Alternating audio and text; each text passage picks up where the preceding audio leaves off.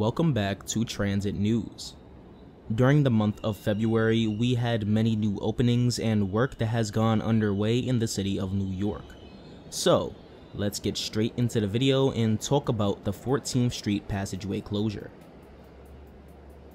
As some of you may know, the MTA has been hard at work making the subway more accessible for those with disabilities. Two of the stations the MTA plans to improve accessibility at are 14th Street on both 6th and 7th Avenue. Due to this work, the MTA has closed the passageway that connected the two stations.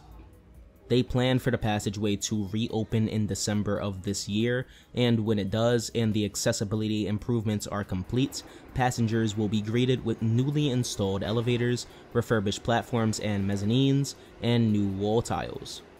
I'm glad that with some of these accessibility projects the MTA is undertaking, they are not only installing new elevators but also renovating the stations. I hope to see the same thing done at Woodhaven Boulevard on the J line in Queens and Westchester Square on the 6th line in the Bronx. Last month, the MTA installed new decals at the Marcy Avenue station on the J and M lines and West 4th Street station on the A, C, and E lines. These decals were placed at the accessible boarding area at the station and are intended to notify passengers with disabilities where their boarding area is on the platform. I like the intentions the MTA had when installing the strips, however I feel like the overhead signs near the accessible boarding areas are more effective. They are less prone to weather events and over time will appear more visible to passengers as they aren't on the platform collecting dirt every time a passenger steps on it.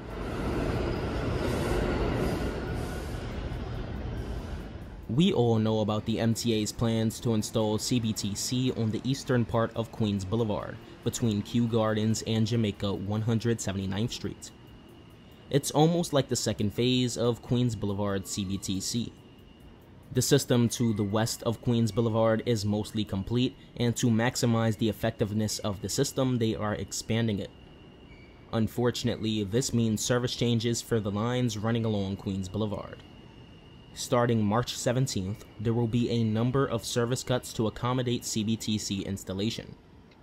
The E train will be running local earlier during the night, the Brooklyn bound F train will run local during late nights, and the R train will be cut back to Queens Plaza starting at 9.30 p.m.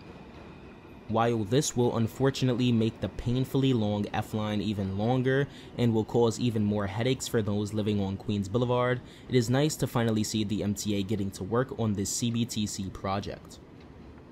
Earlier in the year, the MTA opened multiple customer service centers in the system. These centers are staffed by station agents who now have a larger role as part of a historic agreement between the MTA and Transit Workers Union late last year. At these customer service centers, station agents will assist customers with switching to OMNY, applying for the reduced fare program, and wayfinding.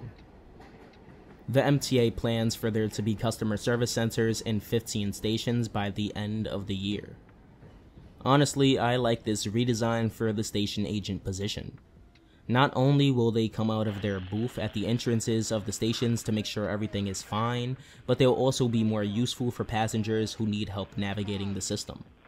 Also, I like the design of these customer service centers much more than the plain white and blue booths we see across the system today. Now, some of you may know about the LIRR's new schedule, which took effect late last month. This schedule was put in place to coincide with the opening of the new Grand Central Madison station.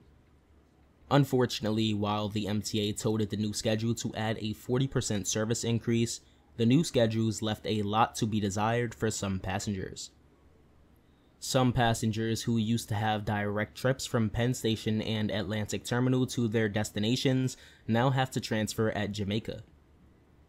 Now, this wouldn't be too much of an issue if there weren't such short time frames for connecting trains.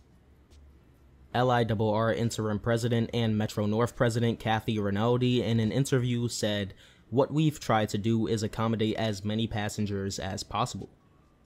We're providing 41% more service across the board than we were before with multiple transfer opportunities, a lot more frequency, a lot more flexibility in terms of how our customers travel around the region, regional connectivity here at Grand Central to Metro North. So it's just different, and I think people will accustom themselves to these differences. We'll find the trips that work for them. If you have any thoughts about what was talked about in this video, tell me in the comment section below. What do you think about the new LIRR schedules? How do you feel about the MTA's accessibility improvements? Anyway, if you enjoyed the video and you would like to get more from Mystic Transit, like, subscribe, and consider supporting me via channel memberships or super thanks.